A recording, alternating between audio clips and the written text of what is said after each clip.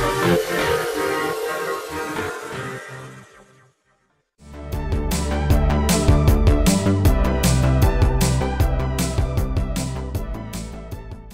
വർഷത്തെ ആദ്യത്തെ സൂര്യഗ്രഹണം കാണാൻ ഇനി ഒരു ദിവസം മാത്രം.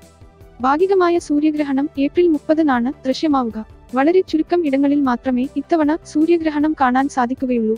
ഏപ്രിൽ മുപ്പതിന് പ്രാദേശിക സമയം ആറ് നാൽപ്പത്തിയഞ്ചിനാണ് ഗ്രഹണം തുടങ്ങുന്നത്.